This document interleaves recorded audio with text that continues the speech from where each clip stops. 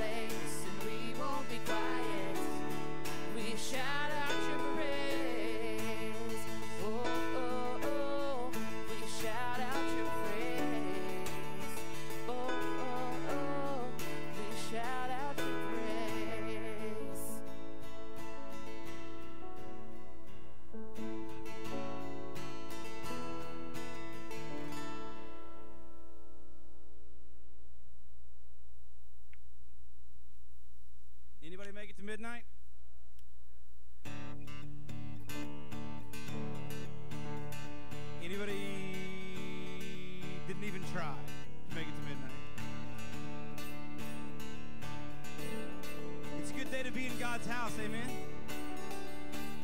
So I'm going to do this song. I want you guys to help me out. It involves singing really loud. We got to get woken up. If you need more than that, there's coffee in the lobby, okay? I was buried beneath my shame. And who could carry that kind?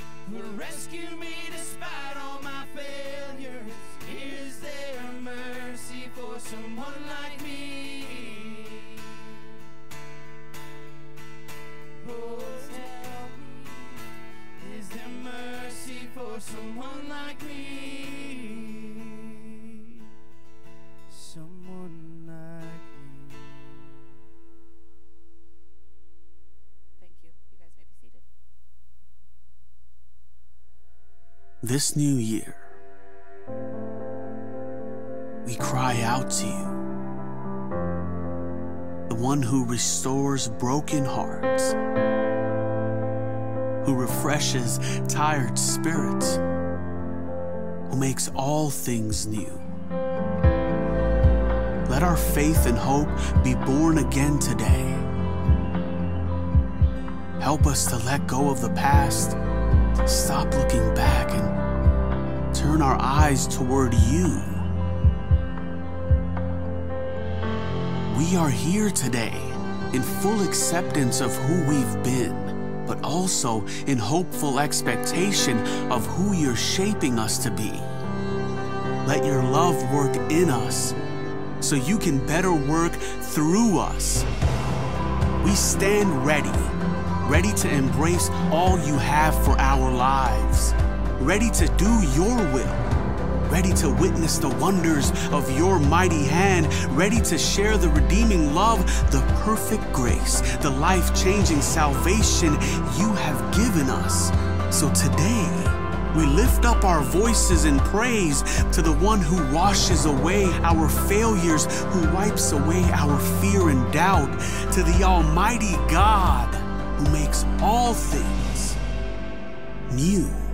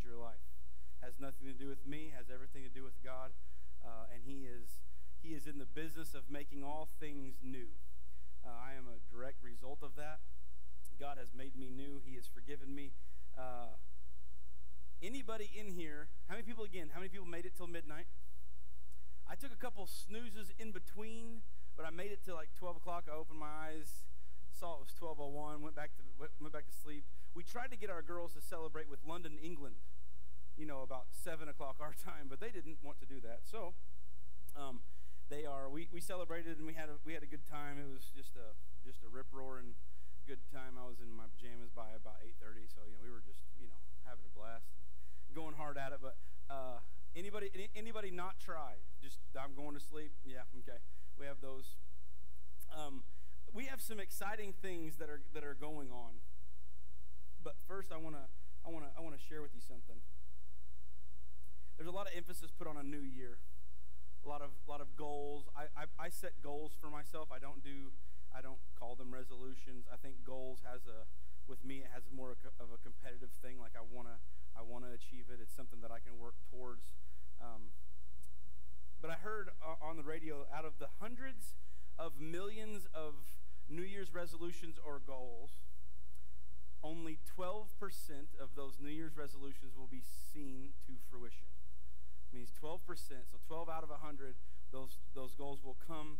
Uh, those will, will come to to happen. So if you want to lose weight or you want to exercise more or um, you want to do different different things, understand this. 2022 is over. And for some of you, it was a horrific year. For some of us, it was a fantastic year. Maybe it was a successful business year, or you, you, you started dating somebody, or you got married, or you had a baby, or you did this, or whatever you did.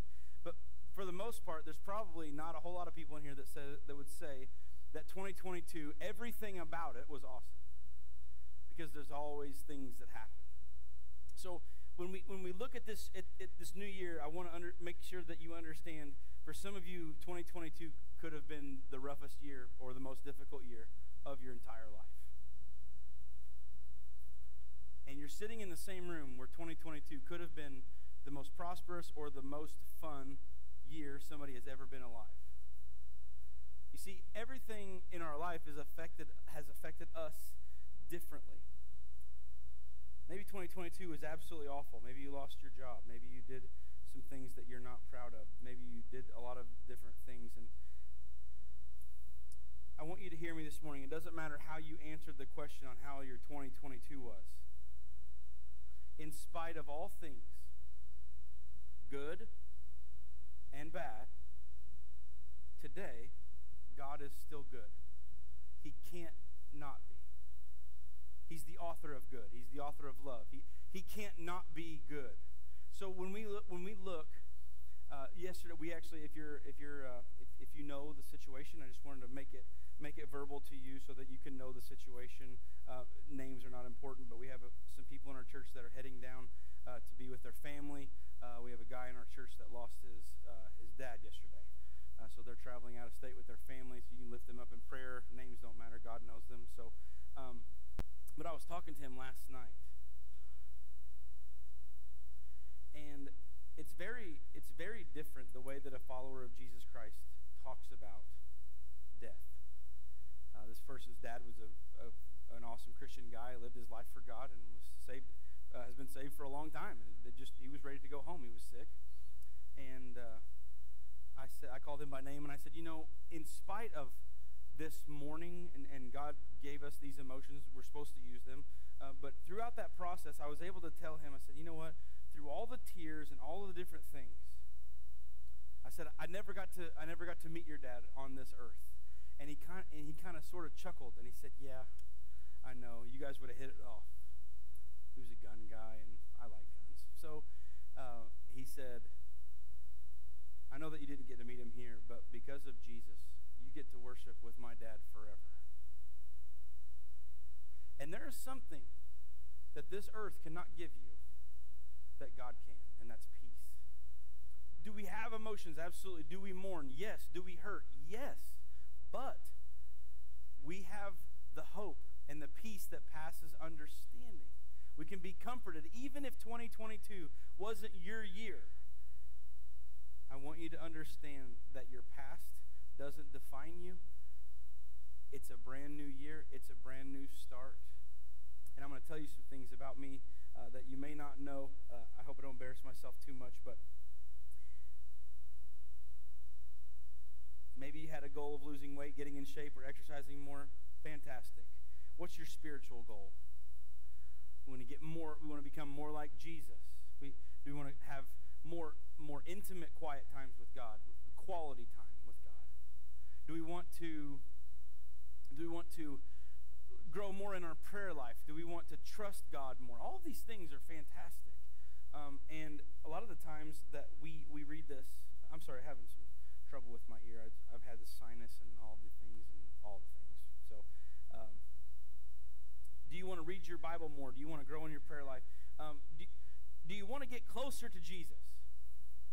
Now, I don't know about you, but sometimes I play tug of war with God. Sometimes we fight. Sometimes we argue. Okay, I don't win any of these. I'm just telling you how, how real life this can be. But for the past two or three months, I've been, I've been, I've been in a, in a tug of war.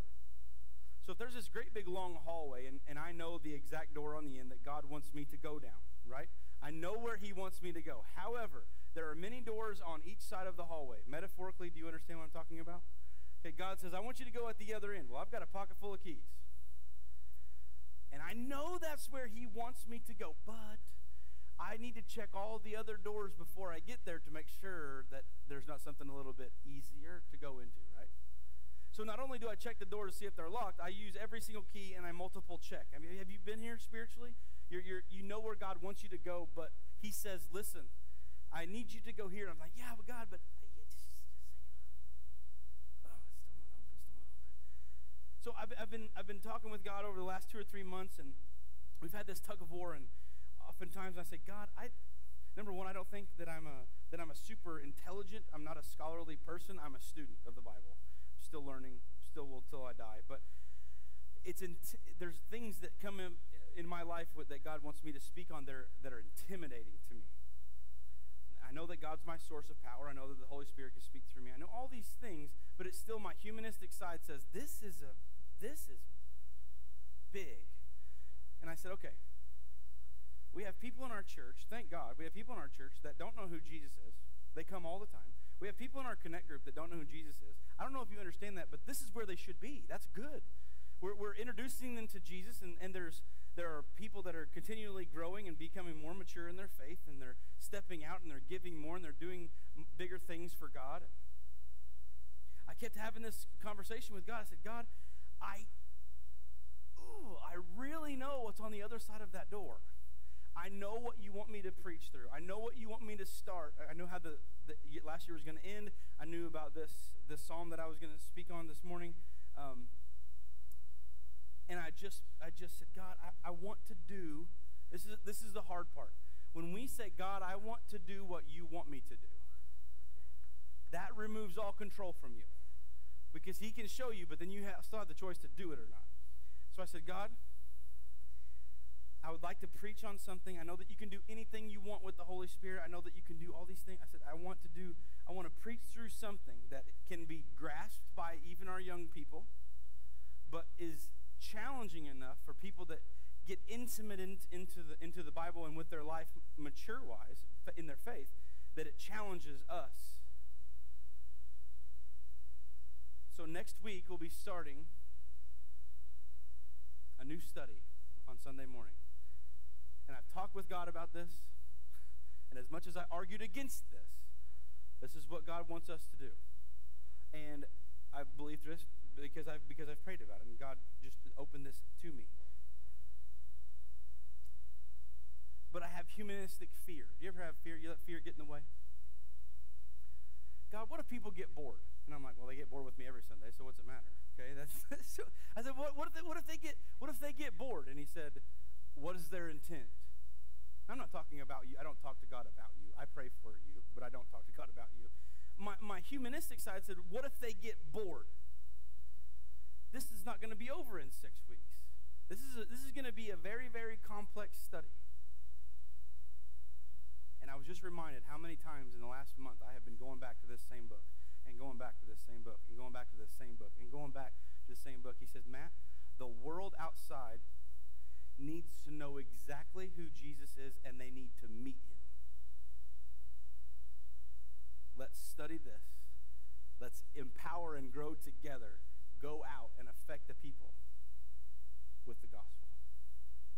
So next Sunday, if you want to bring a notebook, if you want to bring a pen, um, we're gonna be we're gonna be starting in the Gospel of John, and I love that book. Uh, it's intimidating. It's daunting. If you've read it, it's there's a lot of there's a lot of well, this and this and this and this, and you know, has these things, and you know, the gospel and get saved in John three sixteen, and yeah, it also says love your neighbor as yourself. Anybody got that one mastered yet? No. Okay. so, so wh- why why why do I share that with you? Because we have a fresh start. If you're if one of your goals is to know God better and in, in, in, His Word, if you're a guy, and we're going to have a girls group too, uh, more than one if needed. If you're a guy and you want to go through a discipleship group, um, come and see me. I've already got a couple in there with me, and we're going to read the Bible through in a year. We're gonna we're starting our fifth generation. I understand that uh, that people. Uh, say it's just it's, it's, a lot of time. I get it. We're also going to have the reading plans out here next week, so everybody can read through um, the Bible in a year if you can. Uh, try to. Um, so we're going to be going through. We're going to be going through John. Now, why? Why? Why? And how does this have anything to do with this morning? By starting John in one one. I'll give you. I'll give you a spoiler alert. It starts with nothing. Fresh clean canvas. In fact, the Bible tells us that uh, in, it, everything was void and formless and dark. I don't even know what that means. Like, how do you describe something to somebody that's formless? Okay, but then God spoke, and we're going to see God create, God the artist. So maybe this morning you say, you know what? I need that restart this year. I just need a, I just need a day that defines Today is the day. Look at the title of today's sermon. Today is that day. Now I started I started on my weight loss goal before Christmas. Do you know why? Because I know me. So far, I've lost a little bit over 10 pounds, and I have not, watch the, this is a big deal. I, did, I did not eat one piece of my dad's fudge. My dad makes good fudge, and I didn't have a piece, not one. Uh, but I'm, I'm trying. Now, why, why do I want to do that? Because I physically want to want you to hold me accountable so that I can show you in front of you. This is accountability. I want I want to show you that that I'm taking this very serious. I have started. I started on December 6th, and I am I am I am doing this for me and because God said so. I think God calls us to do a lot of things that that that we don't want to do, but what's your what's what's your goal? Okay, I'm not asking for out out just out anything out loud, but if you turn to the middle part of your worship handout, you have a blank slate. There's three numbers there. And it says goals for 2023. These are your goals. This can be cut out. This can be taped to a mirror. This could be be something that you can see every day. Now, why do I, why did I put that on there? Because I wanted to give you the opportunity, maybe later, maybe during my sermon, God just speaks to you. I want to give you an opportunity to write those things down and I know that we say this all the time, but what if this was a year where we said, God, I need your help. I'm doing this. I'm going to dive into the Gospel of John next week. Brand new, fresh look at, at a gospel. This is, this is John that wrote Revelation. This is John, the beloved disciple. This is John that was at the cross. This is a big deal. You know what his message is? Love. Love. But it's so complex because there are people today that don't love us. So we don't love them, right? Being facetious here. But are you ready for that fresh start? Look at the first blank in your worship handout. You can fill this out. Are you ready for a fresh start? Today's the day. Now, listen. Are, the, the, the big deal is, are you ready? Are you ready? You can go to Las Vegas, and before a big fight, what do they say? Let's get ready to rumble, right? By the way, I don't know if you know this. That guy has insurance on his voice. Let's get ready to rumble and everything. Everything in all the one of the casinos wherever they're fighting just goes absolutely crazy. But the thing is, it says, "Let's get ready." The question here is, are you ready? Because you have to be ready if you want to change. Change can be a C H A N G E six letter cuss word. We don't like change, right? We, we don't want we don't mm, don't let's don't let's don't rock the boat. Are we ready for a fresh start? If you are, I pray that you ask God to do that today, right now. It's a it's a it's a monumental day. It's it's New Year's Day.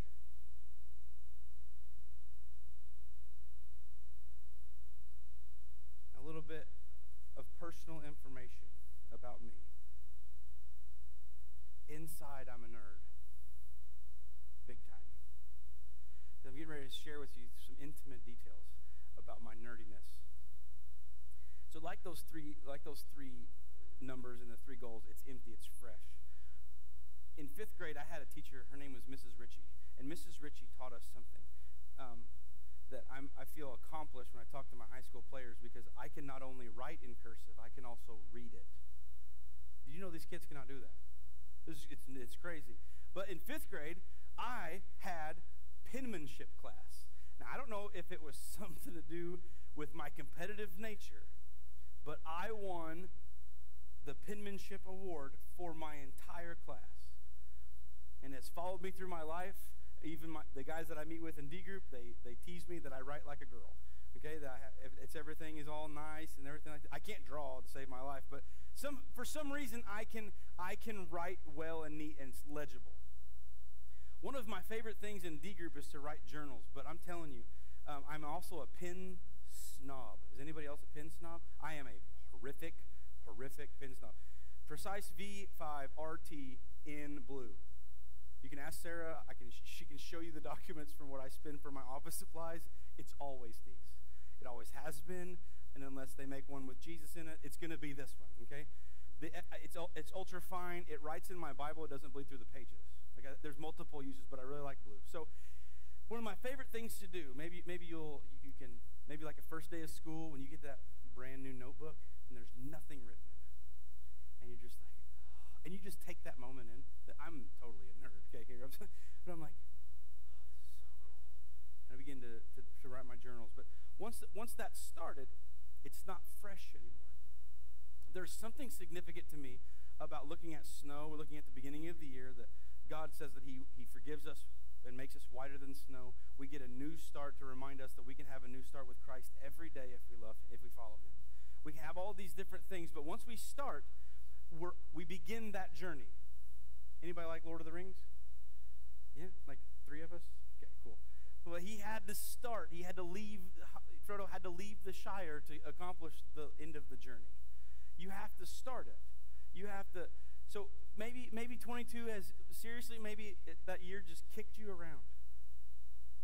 We're not going to go back and glorify the bad things, but I tell you what, we can glorify what God has done. And those remember those stones that we used to talk about, the Ebenezer stones that we stack up. Those are going to come into play. So if you have your Bibles, look at verse uh, one in chapter 34 of Psalms. This psalm is written. People people often tell me if you're wanting to read the Bible through in a year, this is my suggestion. You ready? And for those of us that have or understand, you'll understand. Do not begin your read a Bible through in a year in Leviticus or First and Second Chronicles. Okay, start with Genesis or start, excuse me, in the New Testament. Get something that will that will that will teach you. You can start in John if you like, but people tell me, they say, I can't believe that you read the Bible, it's boring. There's love in here, there's war in here, there's plot twists, there's talking donkeys, there's floating axe heads, there's the raising of the dead, there's the healing of disease, there's the parting of water. All kinds of stuff in here. We're going to see contextually, I want to explain. In 1 Samuel 21, uh, I think it's uh, in the verse part of verse uh, chapter 21 in 1 Samuel. This is a psalm written by David, but it is as an account that he remembers back. So if you've read th- this story in 1 Samuel, if you haven't, I'll let you go back and just and just read it. But da- David was fearing for his life. So he was trying to do. When you're desperate, you'll do anything, right? Listen, we didn't have we didn't have we didn't know where Minnie Mouse was one night. Lydia didn't sleep without Minnie Mouse. I called fire down from heaven. I did. God, please, in the name of Jesus Himself, I need to find this Minnie Mouse. We're, when we're when we're desperate, we do these these things. The the Bible tells us in 1 Samuel that to, to, to get released, David, we're talking about King David. David acted like he was mentally insane. And the Bible tells us that he even he drooled down his beard. It's weird. It's, why would you do that? Because he was very fearful of his life. Now I want you to show you something. David writes this, but it's out of those situations that he writes this this psalm, and he's saying, the reason I can go forward is because I can remember backwards what God has done for me, and that helps me keep going. In verse 1, he says, I will praise the Lord. Now, here's the deal. I don't think that David wrote Psalm 34 like this. I will praise the Lord at all times. I will constantly speak his praise. Was anybody at Times Square Mall last night going, 10, 9, 8, oh, good, all right, yay, Happy New Year, let's go home? No. No, he's remembering, and out of the remembrance of, do you remember how God is, how good God has been to you? What about the relationship that you're in now, as opposed to the one that you used to be in? What about the, the, the freedom of addiction that you are now experiencing that you used to not have? Maybe, maybe you maybe you wake up bright-eyed instead of glossed over. See, God, God has brought us through. My, my sister, my sister, we, we have this thing. We have these stones that somebody says like, you know, it looks formidable. It looks it, it looks too big to pray for. My sister had her appendix rupture and her body was septic during COVID with no visitors. Was misdiagnosed. They let me in because I was, I was honest with them. I said, I am her pastor. I'm also her brother. God, God did a miracle. The lady I was talking to was her nurse the night before. I got to come in. As I left the hospital, a couple things clicked with me that I was the only other non nurse in the entire hospital. And I looked at the nurse and I said, Did you let me in because you don't know if she's going to make it? And she said, Yes. And me, along with several of you, began to pray that God would heal her body. And I, when, when, whenever, whenever Jennifer came out of the hospital, we didn't say, Hey, glad you're home. Thank you,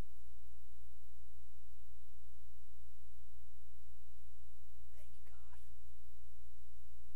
You're not going to sit at game seven of the World Series if you're a Cardinals fan and watch them win the World Series, sit, sitting down and go, bravo, boys. You're not going to do that. Okay, why? Because I've been to a game like that and it's insanely loud. So David's like, yes, I will praise the Lord at all times. What does all times mean? If you underline in your Bible, that means all times. All times. When everything's going good, yep. When you get what you want for Christmas, even that fine. If it's going really bad, yes. When you're when you lose a loved one. I listened to my friend say last night that even though earthly I don't have my dad anymore, I am so thankful for Jesus Christ and what he did on the cross for us that we can have salvation. It doesn't get any more difficult than right then. He says, I will praise the Lord at all times. I will constantly speak his praises. Now, why do we do this? Why do we need to do that? Because the world doesn't hear it. They need to hear what God has done for you. Because they can argue with the tangible evidence. I can't, I can't put God in front of them.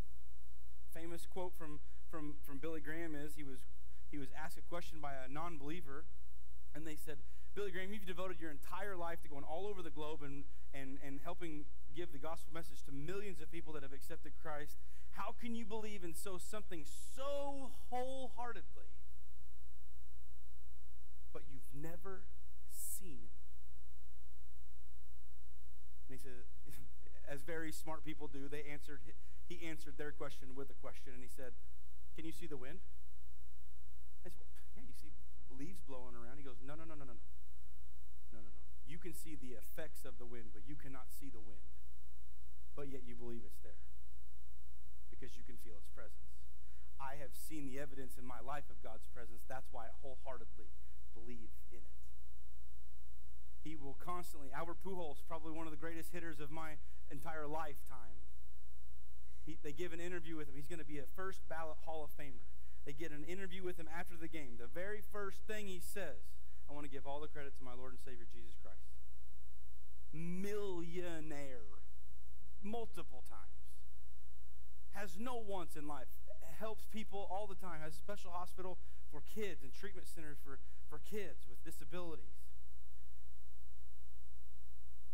He could buy his own island.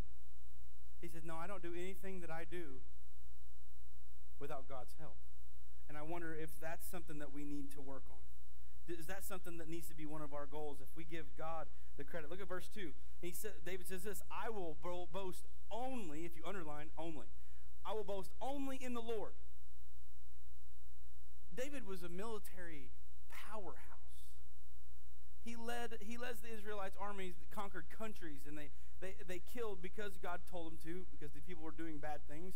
He, he led armies on humongous, monumental wins of, of battles. He was famous. He was gonna he was then king. But what we don't know is is well we do know, but we don't concentrate on it, that David himself was physically hunted by the king. He was physically hunted by King Saul. Saul wanted to kill him. Now, if you think the Bible is boring, one day David was hiding from Saul in a cave, and he was hiding in the very back. If you remember this story, you remember this story. The Bible's not boring. Okay? David was hiding back here in the back of the cave with his men. And the Bible tells us that Saul came in and he used the restroom in, in the cave. Now, if you, I don't know if you understand that, that point of that. When you do that, which everybody does, you're exceptionally vulnerable. And David could have killed Saul, yet he let, he let Saul get out of the cave. Then he came out of the cave and said, Hey, Saul, hey, king, I could have killed you, but I didn't. He said, I didn't want to kill the one that God anointed to be king. The Bible's not boring. David has all these things, but Saul, anyway, Saul did not kill him that day. And, and David, again, he said, I will only boast in the Lord. This, is, this guy that writes these words is the same guy that commits adultery. It's the same guy that God says is a man after his own heart. How do we see, how do we see these ups and downs of, man, he, he, he sinned greatly and he loved greatly, and how, how does this all balance out? Have you ever messed up? Let me ask you that question first. Have you ever messed up? And number two, if you've ever messed up, are you thankful for God's grace? All right, now we move on, right? It's an, exa- it's an example of that David was up and down. Paul, as, as Saul, killed Christians, and he's the greatest missionary in the entire world has ever known. And David said, Listen, I will boast only in the Lord. It was only God that helped me survive Saul. It was only God that helped me that helped me get out of the things that, that I was in. It wasn't only two times that David's life was in danger. By the way, with the, with the sin of adultery, if you if you don't know, I don't want to spoil anything for you, but there are con- there were consequences for his sin, drastic ones. See, that's that's why learning more about God and, and, and His Word is very important because it gives us spiritual ammunition. I can reach back and say, yes, I've seen God heal my sister. Yes, I've seen I've seen God. I've been I've been I had my head when I told you about this when I pulled the basketball rim down on my head, but I laid down in the back seat and my mom had my head like this and she was putting putting pressure on my head so it wouldn't bleed and we went to from Albion to Mount Carmel, which is technically about 15 miles. My dad made it about eight minutes, I think. I don't know how fast that car was going, but my dad was, or my mom was holding my head, and I heard my mom pray words that I should have probably never heard her pray. Out of desperation. But my mom, even in desperation, knew where her hope comes from. And she said, God, don't let him die. I heard that from my mom. I looked at my mom. I never lost consciousness. I looked at my mom and I said, Mom, if I do, realize that I'm okay. I was scared, probably in shock. We got to the we got to the hospital. They they patched me up. They sewed me up, and I mean all the way to the skull. The muscles all in my face had to be re-sewn together. That's why I look the way I do. I'm just kidding. I've always struggled with that. So, but my, they, they, they put me together. They put me all together, and they, they fixed a, a, a great big goose egg that I had on my head. And after I got all bandaged up, the doctor came in and he said, "I have." I heard him talk to my mom. I said, "He goes, I have no idea how he's still here." We found three different cracks in his skull. He's got 39 stitches in his in his head. We sewed up muscles that should never be apart. And what do I do with that now? That's a stone. Until until God is finished with you, understand that the Bible tells us that until you've accomplished what God wants you to accomplish on this earth, while you're still breathing oxygen, you have a job to do. So why go through John starting next Sunday? So we can equip an army. Young kids to older adult, we're going to equip an army. I'm not going to. We're just going to go together. And we're going to equip each other and keep building each other up so we can boast about what God has done. One day we're going to have a dedication for a gym. Oh, Pastor Matt, you led us so good in that. No, we're going to boast about God, about how He provided, about how He took care of us, about how the miracles that He brought in just in, in, in that way. Let all who uh, are helpless take heart. So what we we talk about God because when you boast about God, there are people around you that you don't know that don't have any hope. And when you start talking about hope around people that don't have any hope, do you know what they do? They listen. They do. I will boast only in the Lord that all who are helpless take heart. We we tell people about Christ not for our gain. We boast about God to say, listen, you find a friend that has this situation. Listen, I know what it's like. We have people in our church, including me and my wife. They have had they had trouble having kids. They had things happen. We lost a baby. There's people in our church that have done the same thing. Listen, we didn't think things were possible.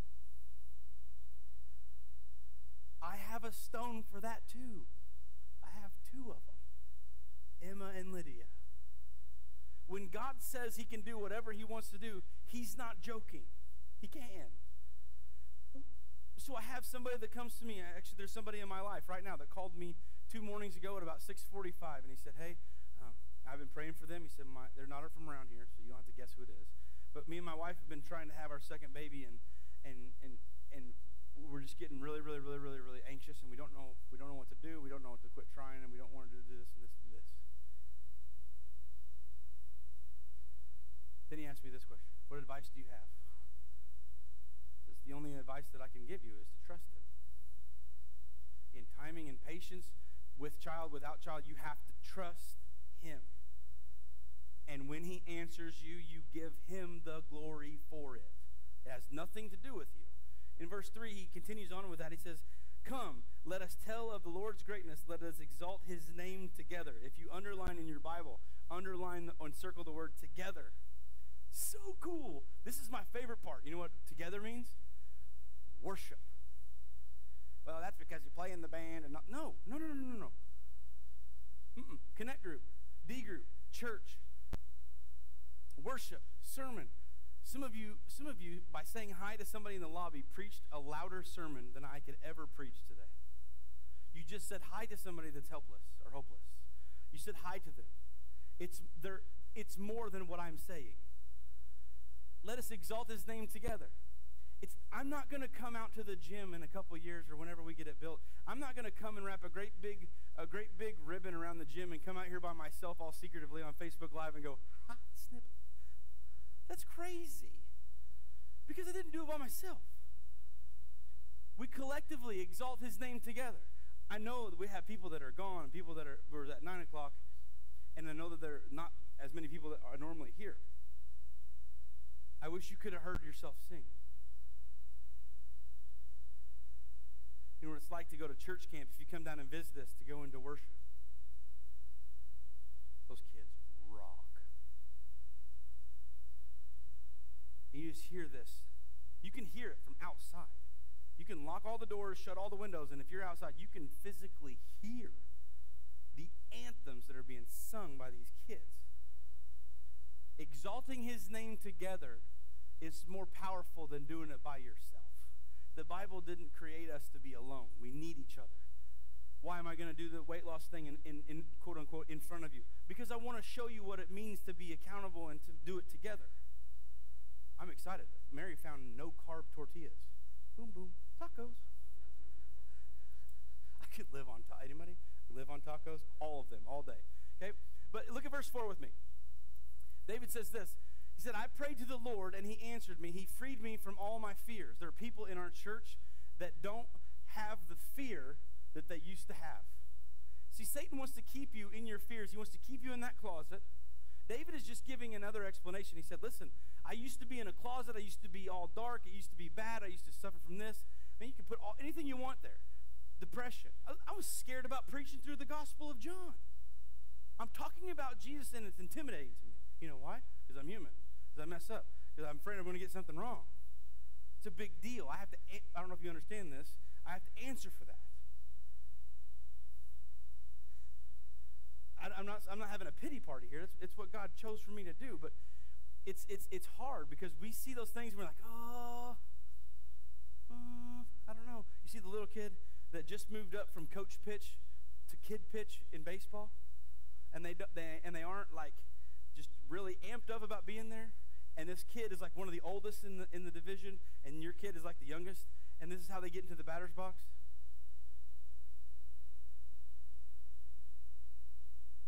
They're terrified, aren't they? I remember when I moved when I moved up when I moved up into summer baseball and we had a, a guy that was throwing pretty hard and my mom goes, Oh my gosh, she's gonna get hurt. I'll never forget that. I'm like, Mom, there's other guys around here. Shh, quiet. Embarrassing me. He freed us from all our all his fears. David said, "Listen, I used to be fearful from what from from all the things that bothered me." And verse 5 says, "Those who look to him for help will be radiant with joy." Oh, do you have these people in your in your life? They're like literally happy all the time and it makes you sick to your stomach. And like, how in the world are you always happy? Right? Some of you think that's me, okay? But here's here's the thing. Joy is different from happiness. God didn't say you're going to get happiness. He said you will radiate with joy. No shadow of shame shall darken their faces. Do you physically know some of these people? Spiritually. It's like when they wake up in the morning, they high five Jesus himself. They're just, "Mm." hey, dude, your house just burnt. Isn't God good? It's just weird, okay? It's weird because it's not normal on this, on this earth. This is, this is what it means. For too long, the quote the, the capital C church has walked around absolutely pathetic and boring. You walk around, we walk around the, the, the church, we walk around like we're spiritual Eeyores. Do you know what Eeyore does?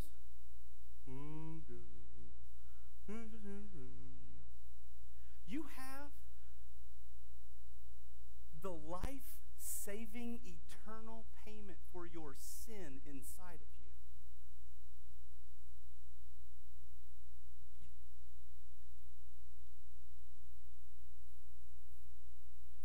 Oh, life's so good. Church was good. Yay, Jesus. The world doesn't want to follow that. Instead, the world looks on social media for the appealing. That's what they want. You need to be a Tigger. Not annoying, not bouncing all the time, but come on. Let me tell you what God has done for me. Let me show you what God did for me.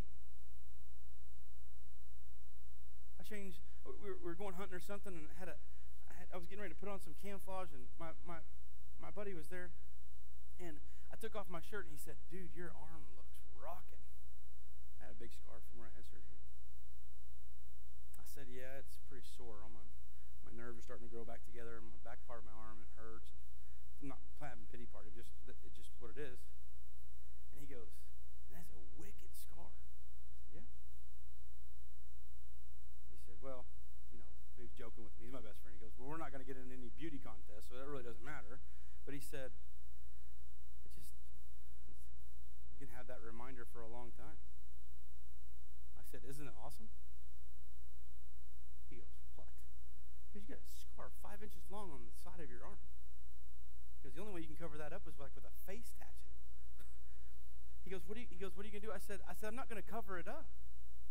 I said, To you, it's something negative. To me, I see that God healed my body of cancer. There's a difference. There's a difference in our attitude. No shadow or shame shall darken their faces. Man, God has always provided everything that I've needed, and I'm not bragging. I'm not bragging on myself. I'm just I'm telling you. If you don't know the answer to that question, that's the answer to the question. My God will supply all of my needs according to His riches in glory. Period. End of story. It's in the Bible. We have to know the Bible. In verse six, he says this: "In my desperation." Oh, that's often the only time that we pray, isn't it? I'm, I'm on the boat with you. I get it. My mom saw a very, very bleak outlook for her son. My sister's uh, uh, appendix ruptured inside, making causing her body to become septic, and we thought we were going to lose her. When we when we have these desperation things, when when David was in the cave and he couldn't took Saul's life and he didn't, when when he appeared to be insane so they would let him go, all these different times he was hunted, he said, "Listen, when it got to the desperating point or desperation point, I prayed and do you want some good news? That if you follow Jesus Christ, whenever you utter words with your mouth or you do them physically, mentally, without saying anything, God hears you. He's concerned about you. He wants to talk to you. Every single day, He sets this out. He has this table, and He's sitting here. And gonna, there's a verse that talks about this. He sits down, and there's this there's this wonderful metaphorical meal here, and God says, "I want you to sit down. Let's do this together." It's His word. Let's do it together. The Great Commission, missio de geo, is actually the term. See, I told you I could sound smart. Anyway, we put the word God put the word co in front of mission, meaning He wants us to go along with them. The fact that you and I get to be involved in the Great Commission blows my mind, and I'll never understand it. Why does God want to choose me to help him? Do you know yourself? Why on earth? It's like, it, it just makes no sense. But God says, I want you to come to this table. I want to talk with you. Every day I want to talk with you. David here says, In my desperation I prayed, and the Lord listened. He saved me from all my troubles. For the angel of the Lord is a guard. He surrounds and defends all who fear him. David speaking from his from the protection that God has given him. Spiritually, you have no idea what goes on in the spiritual realm around us. You have no clue. I can't explain it either, but we're, we're told some very interesting things. By the way, the translated word for angel, we, we, we often, people, and it's, it's not being dumb, it's being ignorant of the fact that it means you just don't know, okay? I'm not calling anybody dumb, but people say, I have a guardian angel watching out for me. That's absolutely totally false. That word angel in the New Testament is plural. How about that? You have angels protecting you. If we could give people goggles that saw the spiritual realm of things, there wouldn't be a lost person in the world. There's a, there's a war going on against your family, against your kids, against you. In verse 8, he says this. It's one of my favorite verses of Scripture ever. I know that I say that a lot. This is really one of them. Taste and see that the Lord is good. Oh, the joys of those who take refuge in him. Taste and see. Uh, this metaphorical watch this. This is not this is not a hey, oh, all right. God's like chocolate flavored. Okay, he's not that. It's not it's not physical. God says, "Sit down with me. Eat with me. Get to know me more in 2023. I want, I want to know you. God already knows you intimately. It's our job to know him intimately. He knows the numbers or lack of numbers of hairs on our head. If he knows that, he knows all the details about you. It's our job to get closer to him. So when he says taste and see, what he's saying is, I'm inviting you to come to my table so that we can talk about how stuff's going on. It's the most beautiful thing and it's the most absurd offer that we have ever seen other than Jesus. He says, Come and sit with me. Come to the table, eat, hang out with me. The hard part is at this meal, God says, okay, Matt, what do we need to work on today? Not one time have I ever been to the table and God says, You are doing so good. Not once. It, it, it's, it's that thing we have to get we have to get closer we have to get intimate in verse 9 and 10 he says fear the lord you, uh, you his godly people for those who fear him will have all they need. Even strong young lions sometimes go hun- hungry but those who trust in the lord will lack no good thing. Reverence is not a bad thing. God doesn't want us to be like like scared scared like we think scared. Reverent is the same as fear and uh, reverent fear is, is, is good. We have to keep in mind this. Who is god to us spiritually he's our father what, is, what, what, what does the bible tell us that a, a human father and mother should do discipline uh, don't. I don't think i'm going to do that okay then i can show you in scripture what rewards you're going to reap out of that they're not rewards they're consequences so I'm 16, 17 years old in Missouri. I don't do what I'm supposed to do. Shocker. I don't know. You all are perfect, I imagine. So anyway, I, I would do something, and my dad would say, "Listen." I'm like, "No, I don't know. No. Mm-mm. I'd rather not give you my car keys. I'd rather not do that." I was 16 or 17 years old. I literally tried to talk my dad back into spanking me. I said, "Just get this over with. Just here. Just hit me. Something. I just don't. Just don't take." my keys. Do you know why he took my keys? Same way, same reason you take your kid's phone. It gets their attention rather quickly. And we do that as, as because we're mean? No, God doesn't do it because he's mean. He says, "Listen, I want you to understand that there you need to understand why I want you to do this. I may not even I may not know this side of heaven why I'm supposed to preach through the, all the reasons why I'm supposed to preach through John. I have no clue. Maybe it's for me. I don't know. Why, am I, why did I preach on Psalm 34 this morning? I may never know with you. I know why for me. You get, you get hungry. Matt, do you know why you get hungry? Because I'm on keto? Because I can't eat anything that tastes has any flavor? No, I'm kidding.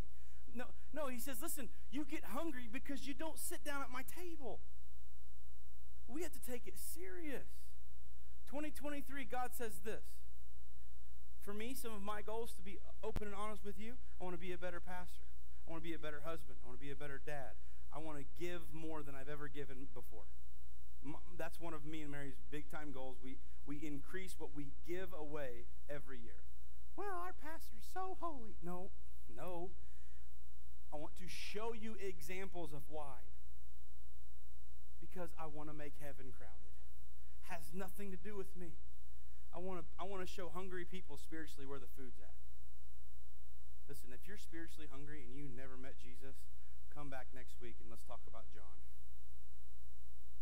We're going to show you how powerful God is. The Godhead, the Trinity. He says, "Listen, you're hungry, Matt, because you don't sit down." Now, how do we do this? You could have eaten four raise your hand if you're with me.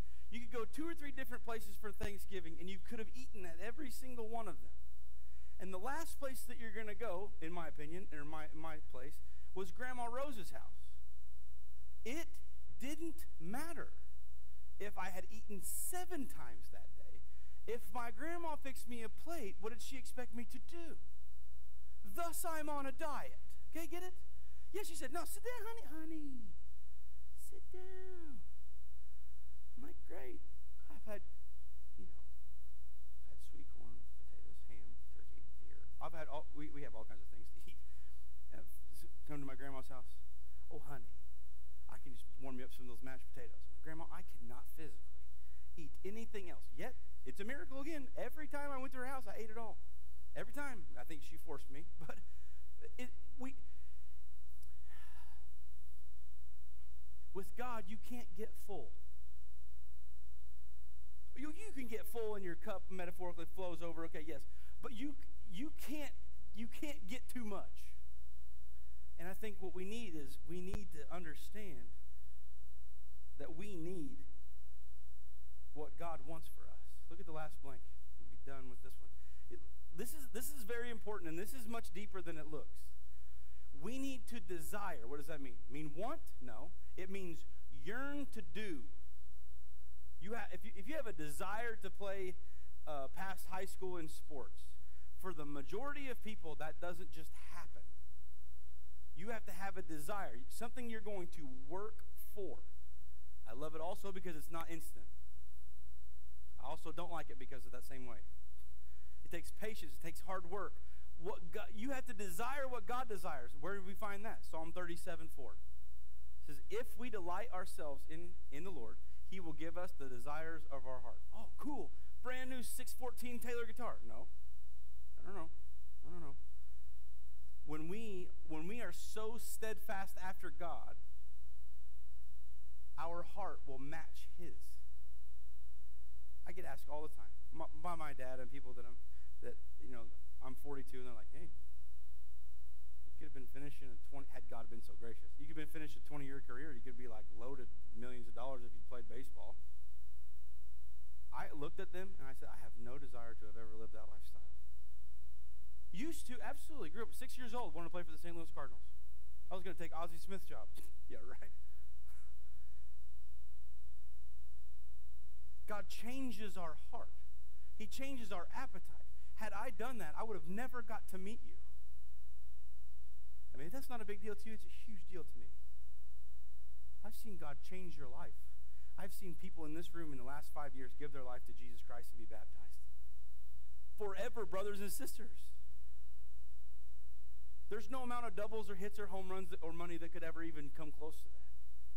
But he says that we have to desire what God desires.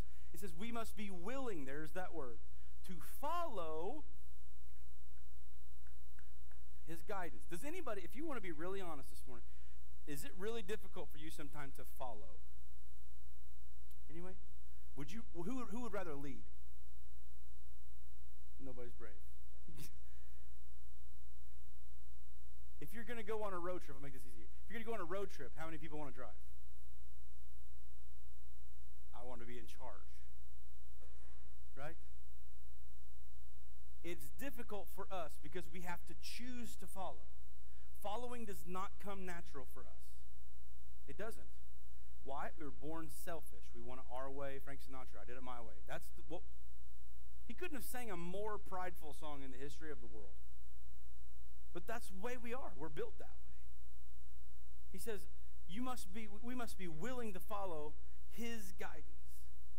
And I don't know what, I don't know what goals you're going to write down. I don't know where you're going to put them. Put them on your mirror. Put them somewhere you're going to see every day. I got a feeling 2023, God's going to blow us away. I'm being for real. You know why? Because we're going to concentrate on doing everything. Connect groups, D groups, worship. Man, coming to church expecting God to move. Hmm. wouldn't it be wouldn't it be funny if I came to you in like the month of May and said, "Hey, by the way, we're just waiting on a company to come and give us a couple quotes because somebody wrote a check for the building." He can. He may not. He might be possibly. I don't know. But he can. My desire is not for a gym. My desire is to be desiring what God wants me to do. And when we do that, God moves. Maybe this is the year we see 50 people get saved. Can you imagine? Been a part of that one time. Pretty amazing. We have to desire what God wants us to desire for. We have to intentionally go to that door. Let's pray. God, we thank you so much. For Jesus, we thank you so much, God, of what you've given us in the Bible to teach us. God, we pray as as we write down these goals that God we might be held accountable not only by you, God, but by by other people that we trust, and we can we can grow towards you. God, may our may our time and our our uh, our focus be put more on you this year. May we take a very serious intent on getting closer and to intimately know you better and more. May we come to the table more often and more quality times. God, help us break our heart for what breaks yours. Help us desire what you want for us. We thank you for Jesus. We thank you for the hope that we have through him. It's in your name that we pray. Amen.